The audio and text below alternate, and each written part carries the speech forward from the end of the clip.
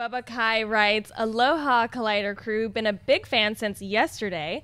The question I, I have. I love that. is about what happened to the hit movie song or soundtrack.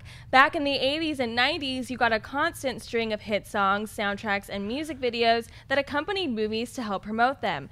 To this day, if I mention Simple Minds, Don't You Forget About Me, or Kenny Loggins' Danger Zone, or Lindsey Buckingham Holiday Road, you instantly know the film it comes from. It seems to me that the studio is missing out on a great promotion tool. Just wondering your thoughts. Thanks, and keep up the great sweatness. Mark, why don't you, you're the big soundtrack guy. Yeah, Let's hit it. I want to hang out with Bubba, man. He's got good taste in music. And look, I think a lot of the reason why you don't see this stuff anymore is because when you turn on MTV, you don't see music videos. Like music videos are just not used at all anymore. Maybe occasionally a band will release something, or you'll see a tag at the end of a kids movie like Zootopia with Shakira. But it's very few and far between. Whereas beforehand, you're right, it was a great promotional tool. We, uh, me and uh, producer Jonathan, were back there talking before the show about all these great videos that we saw, particularly in the 80s and 90s when we were growing up. That it's like, oh, I want to go see that movie now. And a lot of them were like mid 90s, a few in the late 90s. Then they really started to dry up. Like the ones that really stand out to me were I that Bryan Adams everything I do for Robin Hood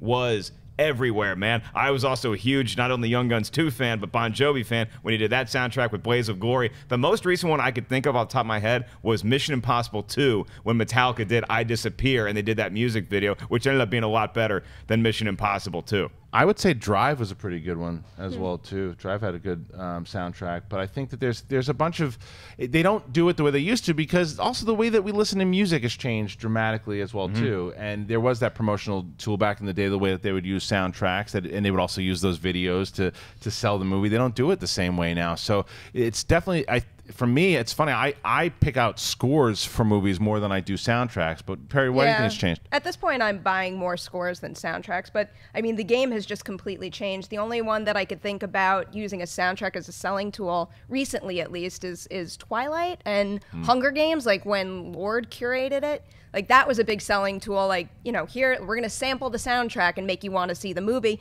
But the problem with that is none of the songs were then in the movie, or maybe they were just all in the credits and I got up and left too quickly.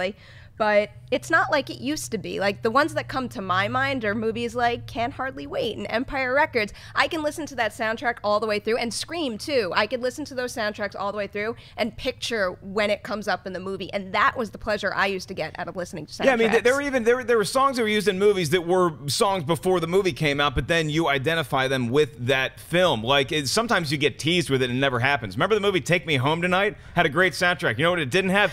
Eddie Money. Are you kidding me? The one that I think of sometimes is I'm a huge Van Halen fan. Panama, it comes on. I'm usually rocking out, and occasionally I'll think of that parking lot scene in Superbad when they're just driving around the cop car and shooting stuff. So that's as that's as far recent as I can get. Um, some great, great suggestions and, and examples here of some good soundtracks from the fans here. Yeah, Guardians of the Galaxy, which was a really good one. That they, and they that was part of the storyline. Was the soundtrack? That's Awesome probably mix. one of the best examples. Deadpool recently was one, and Frozen.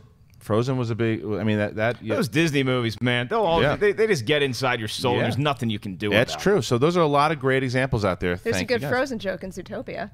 There is. There there's is. Great, There's, yeah. there's two Frozen jokes in Zootopia.